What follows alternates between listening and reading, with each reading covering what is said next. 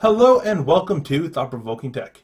In this episode of Tech Tips, I'm going to be continuing the OneNote snippet series and just going over docked windows in OneNote. It's a feature I don't see a lot of people using, so I just really wanted to make a very quick video just to draw attention to the feature uh, in case you hadn't uh, heard about it or used it before. Uh, it's a very simple to use uh, feature, uh, but it lets you utilize your screen space very efficiently uh, while having the majority of your screen dedicated to whatever you're reading and have a very small note uh, taking spot. It's very great if you only have a single monitor or in addition after everybody goes to bed and I'm in my office I usually like to read and have a little docked window for thoughts um, project ideas uh, and everything along those lines and then have like Netflix or Amazon streaming in my secondary monitor. Uh, so without further delay let's get started.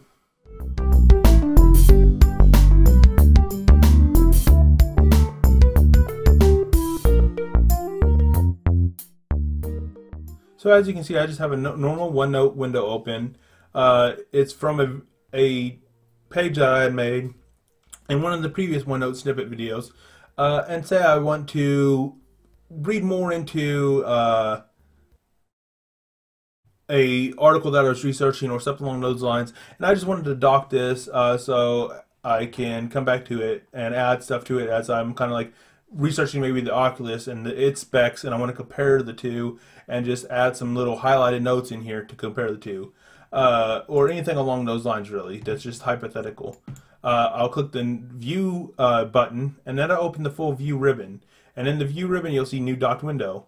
You'll see that it automatically will add this little dock that automatically resizes your window so that it essentially makes the full screen uh, window that was previously OneNote actually scoot over a little, automatically resize, and put this nice little dock here.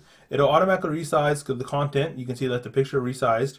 Uh, videos it doesn't do as great as the job is resizing, but you can see that everything is still fully interactive. So that video uh, that they that is embedded on their website and is embedded in that article, when I clipped it, I, I could play it over in OneNote, and I can still play it in the little snippet too. So it's very powerful. Um, you can also resize the snippet too so that you can actually get the whole video playing in there if you want to. Granted, at that point in time, your snippet is taken, uh, or your dock is taking up almost a third of your screen, uh, but it is still very useful. Um, in addition, uh, you can see that the uh, text and everything resizes very well. The images all snap as you resize your dock. So outside of the video uh, realm of embedded video, everything resizes pretty good. Now, if you click on that triple uh, dot menu, I don't know, can't remember what they exactly call that triple dot, but anyways, you can click on that and actually get a, a decent selection of editing tools. So say I wanted to uh, browse something in uh, the web browser. I have some cool little renderings from the SpaceX Dragon capsule up, and you can see that it automatically resized my Edge browser to kind of fit in there. Uh, so it works even better like when you snap to the corner and do like a, a, quarter view or a half view. And then if you open something else sometimes it, it don't won't, it won't adhere to what you know like if you have something in the corner and then you open something it'll be like full screen uh, for instance. Everything you open with a dock it actually kind of automatically resizes and it does a very good job about following uh, that and being very consistent about always making sure that it scoots over and gives the dock its portion of the screen. It doesn't overlay stuff on top of the dock. In addition, it doesn't ha- not just making full screen and the dock being an overlay and then having hidden content behind there that you have to get, you know resize everything. So it's very good about resizing the other windows outside of the dock to so that your dock is always visible and the, the dock is also not obscuring other data.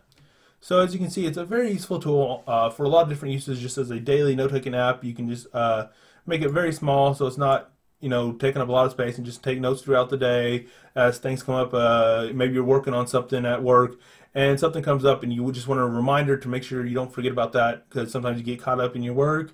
Uh, and then there's something that's not as important that comes up that you don't want to make sure that you address uh, later in the day or possibly even uh, the following day or down the road uh, or if you're researching something, you can start a blank, blank note. And as you're researching, just take little quotes and do your citations and just keep on going without actually having to open a full other window.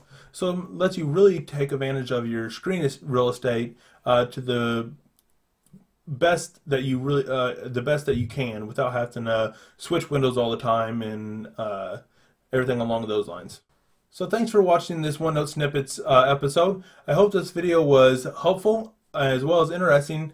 And if it was, make sure you give it a big like. I greatly appreciate that feedback and it helps the video uh, in itself as well as the channel as a whole.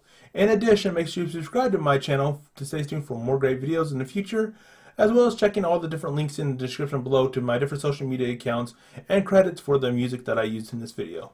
Thank you.